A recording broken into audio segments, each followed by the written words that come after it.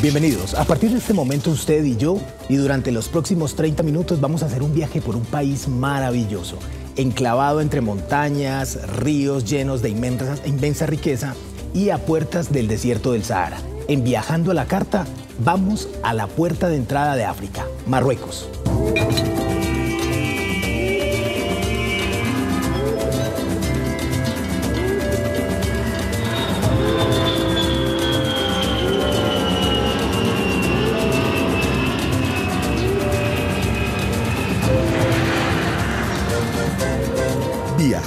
La carta.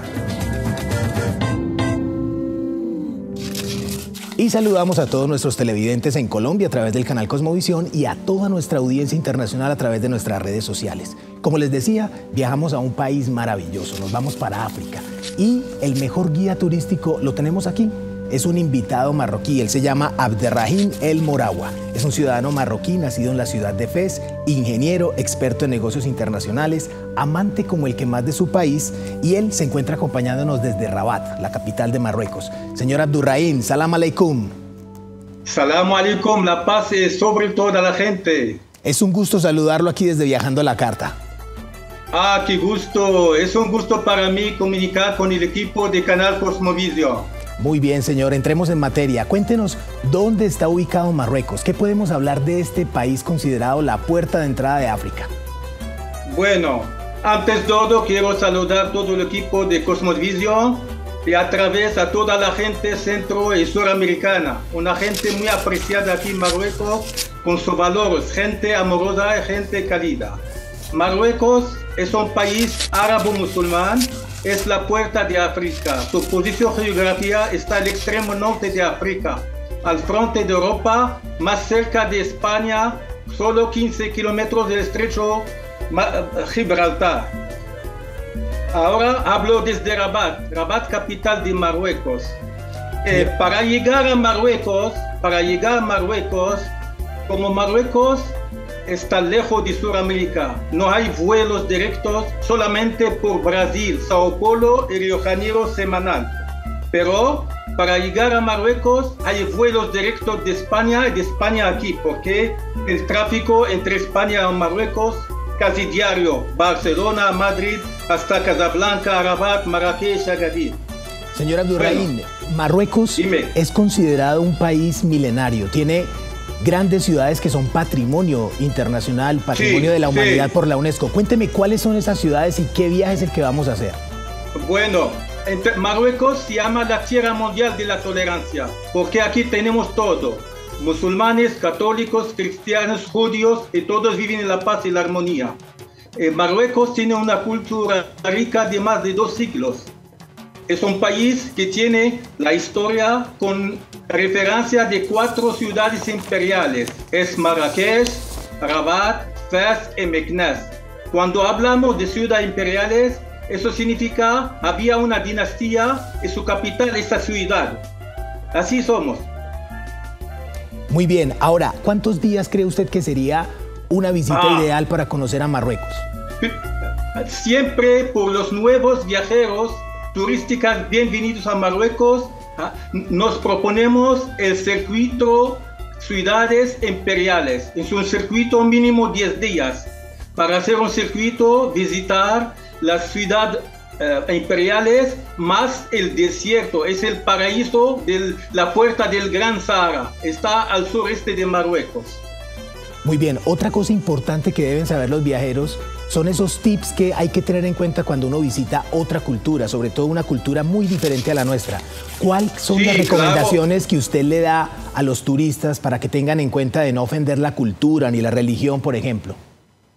Como te dije, aquí en Marruecos es un país de tolerancia. No hay problema para como provocar a alguien solo. Eh, por, ejemplo, la entrada a las mezquitas es muy respetada la gente aquí, la mayor son gente mayor, más abierta al moderno, a todo el mundo. Hay poca gente muy conservada, pero hay que respetar. A veces tienes mujeres con, con gelaba cubierta, son poco, pero la mayoría son gente muy abierta, muy tolerante, y no hay ningún problema. Toda la gente cuando llega allí será la bienvenida, más respetada y claro, hay que acompañarla. Bueno, y por último, para que pasemos a hablar de Marrakech, cuénteme cuál es la época ideal para visitar a Marruecos, porque sabemos que hay unas temporadas que son muy calurosas y que no permiten disfrutar del viaje como se piensa o se quiere. Bueno, como Marruecos es un país que tiene dos fachadas marítimas, la Mediterránea y el Atlántico, casi 3.500 kilómetros. Y, la parte central de Marruecos son, son, arenas, son sierras de montañas Atlas. Y atrás de las sierras hay el desierto. Y la parte central, siempre el verano, mucho calor. Más de 40 casi por tres meses o cuatro meses. Pero la costa muy tranquila, muy suave, no hay, no hay calor.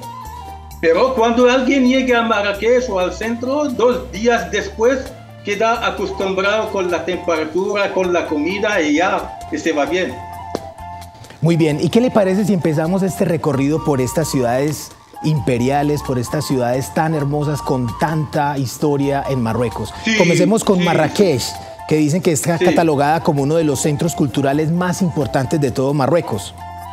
Sí, Marrakech fue, era la ciudad eh, imperial, como te dije, capital casi tres o cuatro dinastías antiguas. Y Marrakech tiene una, una, una, como una minara, una torre que se llama Kutubia, es la hermana de la Geralda de Sevilla, porque las dos construidas por el rey Yusuf bin Tashin de la dinastía al-Mohabi. Entonces, aquí Marruecos, siempre la primera entrada solicitada es Marrakech. Marrakech, casi, casi más de 40 o 50 tráfico turístico de Marruecos es a Marrakech. Quiero decirle a los colombianos que a partir del 28 de noviembre del 2021 se generó una eh, exoneración de visa para Marruecos. Es decir, los colombianos tenemos la oportunidad de viajar a este hermoso país sin necesidad de visa. Bueno, la gente que necesita visa hay un proceso rápido. Cuando se cierra el viaje, la agencia manda a la embajada de Marruecos en, en Marroquí en, Bogotá, por ejemplo, para avisarlo el listado. Y la, la, embajada va a coger y llamar a la gente para preparar los papeles, casi casi más fácil tener la visa. No hay problema para conseguir visa. No hay problema.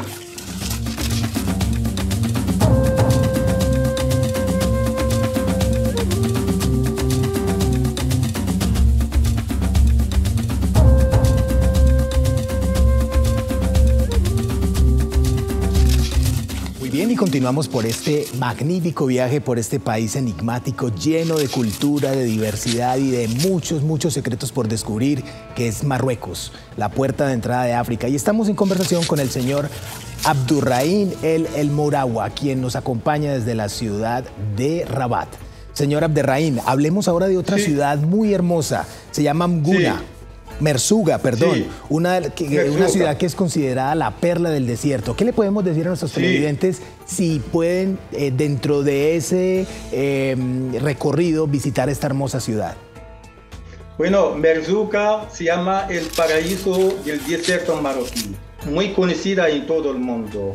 Merzuga eh, se puede disfrutar de la vida tranquila entre las arenas, las dunas de la arena con las palmeras y con los camellos. En Merzuka se, hace un circuito sobre los camellos para visitar la duna y pasar una noche, una noche entre las dunas para disfrutar a la, a la mañana el amanecer, mirando el sol saliendo. Es el amanecer, el sol saliendo entre las dunas. Es algo divino, divino, divino totalmente. Eso le iba a decir, uno de los principales atractivos que cuentan los viajeros que han estado en esta ciudad es que el amanecer, pero también realizar actividades 4x4 en las dunas son lo más recomendado en ese lugar. Sí, sí, hay, hay hacer carrera. También sabes que hay carrera, que viene gente, grupos para hacer carrera por motos o por autos, para hacer un circuito entre las dunas. Entonces, hay disfrutar de todo, del, amanecer, de la noche, la noche entre las dunas, con comida marroquí y con, con animación, ánimo de orquesta marroquí del, del paraíso del desierto. Muy bien, ¿y cómo es la adecuación que se tiene que hacer en mitad de las dunas para que una persona pueda pasar confortablemente una noche y poder admirar el amanecer y el atardecer, incluso las estrellas, porque no hay contaminación lumínica? Sí, sí, tranquilo. Todo se, se, hace con un grupo, se acompaña. Hay gente que acompaña todo el grupo, cuidándolo hasta que aprovecha todo de la ida hasta la vuelta. No sé, mira, mira esa, esa como, como casas preparadas para pasar la noche eh, con cuidado, con, eh, con todo, con la comida, no hay ningún riesgo. También con equipo medical, si algo le falta algo, entonces todo bien acompañado. Muy bien, ahora lo invito a que vayamos a otra ciudad, se llama la ciudad de Rizani, una ciudad que es considerada que se encuentra en el corazón del desierto, pero que también es muy famosa por la producción de dátiles en ese lugar. Y asimismo fue una ciudad que para los beduinos fue una ruta obligada, un paso obligado en una ruta muy importante en el cruce de ciudades, ¿no es así? Bueno, Rizani antes se llama Sigil Mesa. Era el centro comercial entre el norte de África los países de África al sur del Gran Sahara. Había un tráfico para intercambiar comercial. Y fue en la cuna, la cuna de la dinastía alawit que reina hasta ahora eh, con el fundador, el rey Mulay Ali Shri. En Rizani hay la tumba de ese rey, se llama la tumba Mulay Ali Shri.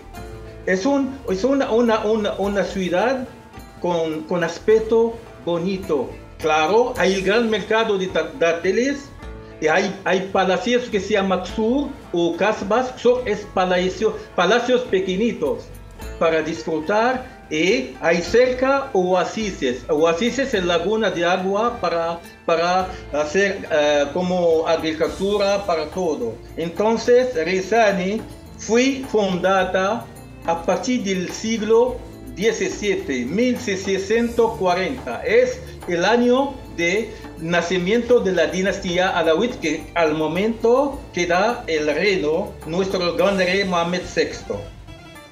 Podríamos explicarle a los televidentes qué son los dátiles.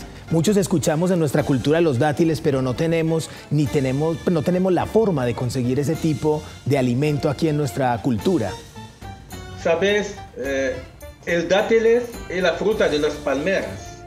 El dátiles en el Sahara, el desierto, es la comida principal con el leche, el leche del, del, camelo o de camela. Es un, un, alimento muy rico, tiene todo, se come todo, pero ahora todo ha cambiado, pero también hay gran comercio de dátiles, hay varias, muchas variedades de dátiles, depende de la zona, pero es un producto muy rico tomar dos o tres granos de dátiles, tienes la capacidad de pasar el día bien, sin problema.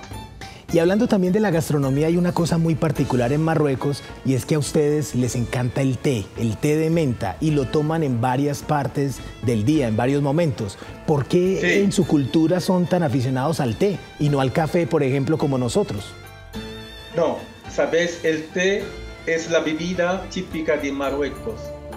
Se, se toma mínimo cuatro o cinco veces al, día. El té es, un, es una bebida de té verde con la, con la hierbabuena o con la mienta, como dicen. Es la mejor a ofrecer a un, un, invitado. Cuando, cuando vienes a Marruecos, el grupo, el primer bebida que vamos a servirlos es el té. El té tiene un sabor extraordinario, un sabor nunca no, no paras a tomarlo, nunca.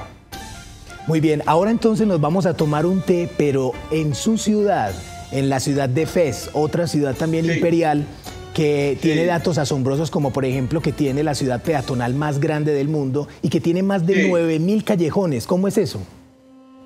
Bueno, la ciudad ojalá que soy nacido yo, estoy bien, me, soy orgulloso nacido en Ciudad de Fez. Fez es la gran, gran ciudad antigua de todo el mundo. Tiene 12, 12 siglos, perdón, un, mil años, 10 siglos como era una capital. imperial y ahora se llama la capital espiritual de Marruecos. Dentro de la ciudad antigua hay más de mil mezquitas, más de mil mezquitas. Y allá hay comida, varias comidas bonitas de, de Fez, de pastelas, eh, comida del carne, couscous, todo, una, una comida variada. Además, la comida marroquí es la segunda del mundo. Bueno, hay otra cosa importante hablando de la gastronomía y es que en todos estos mercados se pueden conseguir especias, pero también se pueden conseguir una gran diversidad de productos y artesanías hechas por los mismos habitantes de Fez. Sí, pero la artesanía hay cuatro, cuatro ciudades, Fez, Marrakech, Rabat y Meknes. Son las gran, la gran ciudades que hacen la artesanía. La artesanía variada, lámparas del suelo, hay varias de la madera también, y también en Sawera. Entonces son la obra de gran artistas, obra de artistas, y también alfombras. Y Marruecos exporta mucho, mucho los productos de artesana a todo el mundo. Bueno, y hablemos ahora de la ciudad de Meknes, que también está considerada, así como usted lo dice, como una de las cuatro ciudades imperiales de Marruecos. Dicen que tiene una muralla, lo rodea una muralla de más de 40 kilómetros. ¿Por qué esa muralla? Eh, ¿Sabes? Meknes eso es una, cuando hablamos de ciudad imperial, siempre es la capital de una, de una dinastía ya, la dinastía. La dinastía alawí tenía un gran rey que se llama Mullah Ismail. Mullah Ismail fue un gran rey fuerte.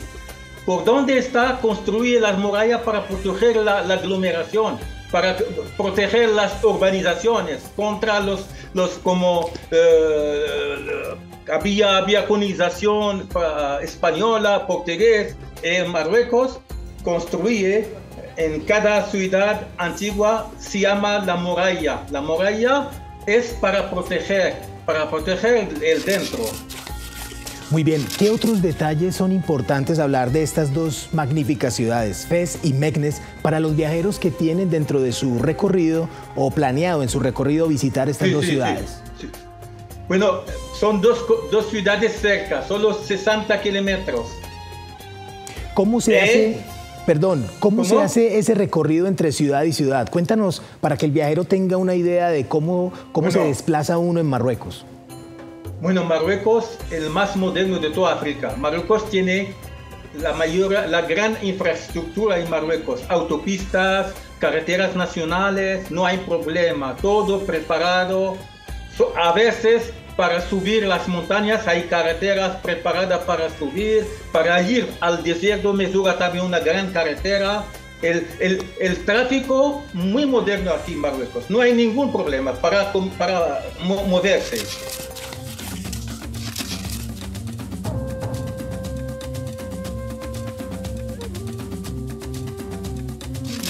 Y continuamos por este viaje eh, en uno de los países más enigmáticos y más adelantados en África, Marruecos. Y estamos con el señor Abdurraín, quien nos está contando como guía turístico qué es lo que podemos encontrar. Abdurraín, vamos ahora a la capital, a Rabat.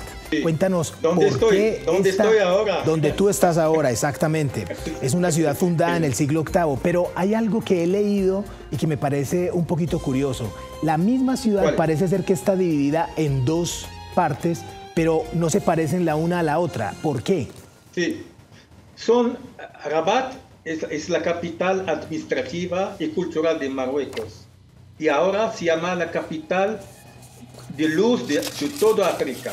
Es, una, es la cuarta ciudad imperial, construida por el rey Abdelmomen el siglo XII. esa ciudad está separada por un gran río que se llama Río Bulgaria, porque hay Rabat y hay otra al lado una ciudad que se llama Saleh, más antigua de Rabat. Saleh fue construida antes, es, es la ciudad para contra los piratas del mar. Por eso había la, la, fortaleza del Zudaya al frente del mar, es para contra y proteger con los piratas del mar. Bueno, hay también una cosa que es muy fascinante en esta ciudad y es que combina todo lo que es la arquitectura antigua, la ciudad milenaria, con modernos edificios, con centros bancarios. Es una, un contraste entre la modernidad y lo antiguo. Sí, sí. Como era capital imperial, ahora es la capital de Marruecos. Marruecos está subiendo, hay un gran desarrollo. Cada año hay, hay, hay algo moderno se cambia la vida para el bienestar de todos los ciudadanos de todos Marruecos. Rabat tiene monumentos a visitar. El museo, el Museo Mohamed V es la tumba de los reyes, donde hay la tumba del gran rey Mohamed V, es el liberador de Marruecos, es su hijo, el eh, rey Hassan II, es el padre de nuestro rey ahora, es una tumba construida cerca de la Torre Hassan. La Torre Hassan es, una, es, es, es lo que resta de un, un terremoto, había el siglo XVII, todo fue destruido, quedan solamente los, pirates, los pilares y la mitad de, la torre. Está encima a la vista panorámica al, al río de Bulgaria y al mar, el Atlántico. Muy bien, y para terminar nuestro recorrido, sabemos que son detalles muy importantes, pero no tenemos el tiempo de explicar muy bien cada una de estas ciudades. Eso lo dejamos para cuando ustedes hagan el viaje a este país maravilloso. Hablemos por último de Casablanca, que tal vez es una de las ciudades que está en el imaginario de las personas por la famosa película protagonizada por Humphrey Bogart. Esta ciudad dicen que es la representación de la nación moderna, con hermosos edificios que combinan el diseño colonial y francés. ¿Qué podemos decir de Casablanca? Casablanca es la megapol de Marruecos. Está muy cerca de Rabat, solo a 90 kilómetros por autopista. Es la capital económica de Marruecos. Eh, Casablanca tiene todo, pero el rey Hassan II, antes de su muerto, había una gran obra, es la mezquita, la grande mezquita de Hassan II y la tercera del mundo. Es la obra de ese gran rey y fue la hay participación de todo el pueblo marroquí. Es un monumento construido sobre el mar, el Atlántico, con su torre casi 200 metros de altura y dentro hay todo a ver. Es la única mezquita que se permite entrar a, los, a los, la gente no musulmana para visitarla con guías y para disfrutar de la arquitectura árabe musulmán marroquí, muy rica. Muy bien, pues con esta ciudad, señor Abdurraín, terminamos nuestro viaje por este maravilloso país de Marruecos. Le agradecemos a usted por habernos acompañado, por habernos guiado por este país. Aquí estamos esperando toda la gente suya, todo el equipo de Cosmovisio, bienvenidos. Marruecos, ya lo repito, es un país que se llama la Tierra Mundial de la Tolerancia. Muchas gracias, señor Abdurraín. Nos volveremos a hablar. A ustedes, por lo pronto, hagan las maletas porque volvemos a viajar aquí en Viajando a la Carta.